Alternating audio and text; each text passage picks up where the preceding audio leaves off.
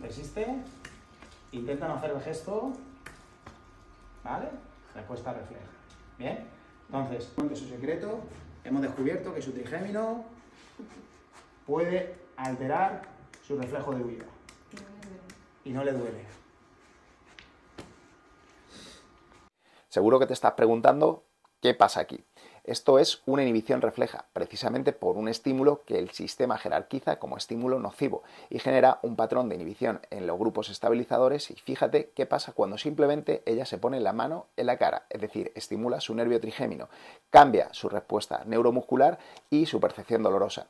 Por eso es tan importante hacer esta interrelación. Los sistemas sensoriales están todos conectados y no solo generan desaferenciaciones sensitivas y motoras, sino luego también cambios a nivel histoquímico e por eso es tan importante saber evaluar y valorar el sistema neuromuscular para comprender cómo podemos mejorar su rendimiento e ir más allá solo del plano tendinoso o muscular.